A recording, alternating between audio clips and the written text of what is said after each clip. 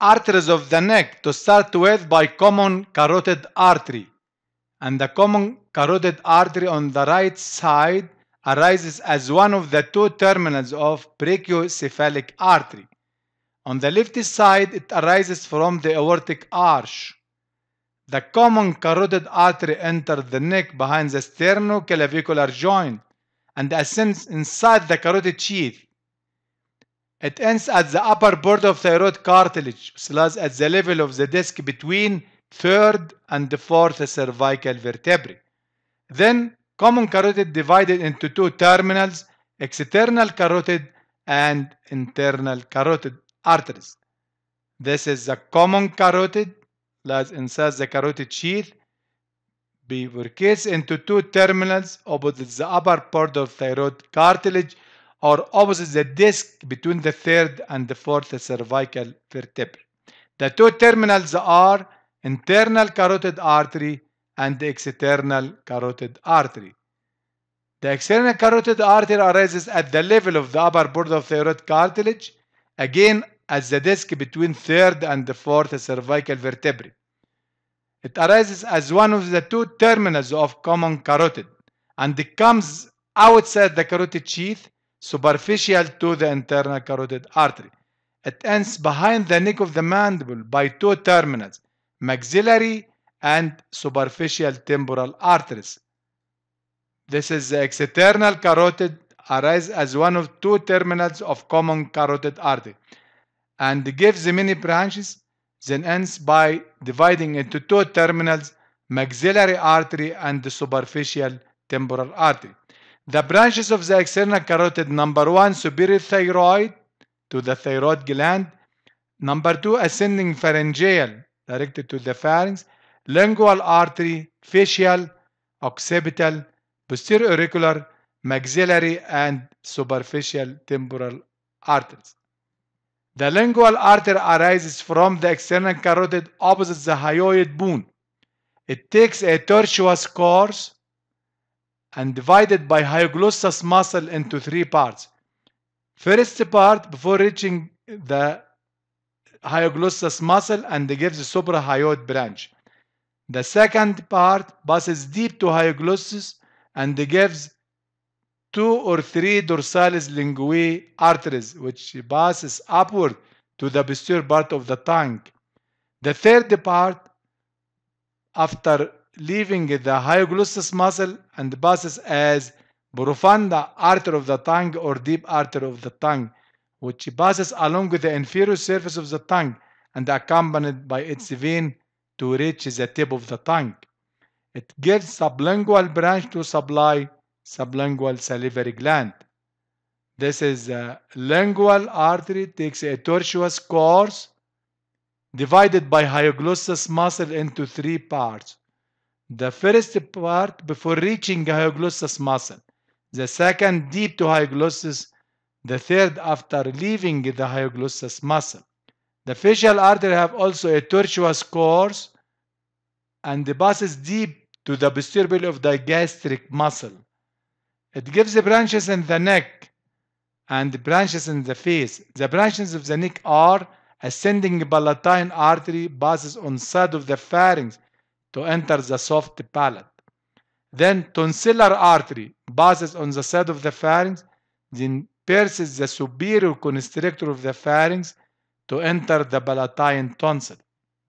The glandular branches to supply the submandibular salivary gland, submental artery at the lower border of the mandible. Then branches of the facial artery in the face, number one, inferior labial, superior labial, and nasal passes to the ala of the nose. Lastly, angular as continuation of the facial artery at the medial angle of the eye. It anastomoses branches from the ophthalmic artery, which comes from the internal carotid. So at this area, there is anastomosis between branches from the internal carotid and the external carotid arteries. This is the facial artery, which takes a tortuous course and ends here as angular artery. Ascending pharyngeal a small branch arises from the deep aspect of the external carotid artery and ascends from the side of the pharynx to the base of the skull. It gives branches to the pharynx and the inferior tympanic branch to the middle ear. This is ascending pharyngeal artery. Then subclavian artery on the right side arises as one of the two terminals of brachiocephalic, while on the left side arises from the aortic arch directly and enter the neck. It has a curved course at the root of the neck behind the scalenus anterior muscle and in front of the apex of the lung. It ends at the outer border of the first rib and continuous as axillary artery to the upper limb. The scalenus anterior muscle dividing the subclavian artery into three parts.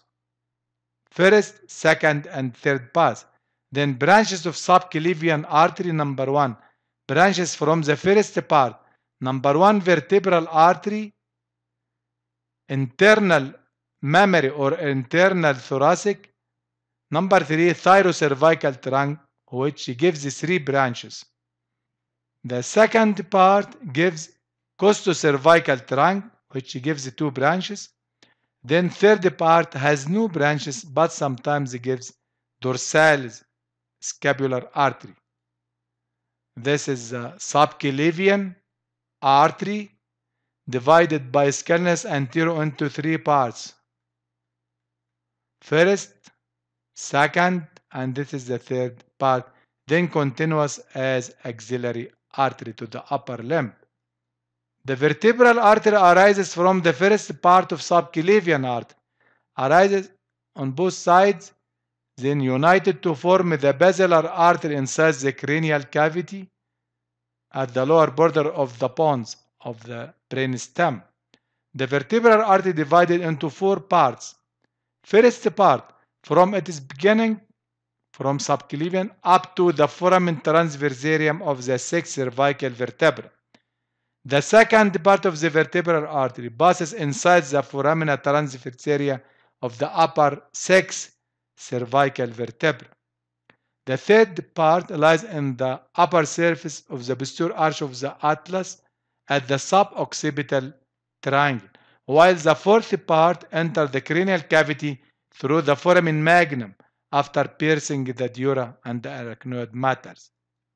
Branches of the vertebral artery anterior spinal directed down to the spinal cord, posterior spinal also directed to the spinal cord, then posterior inferior cerebellar artery to supply the cerebellum.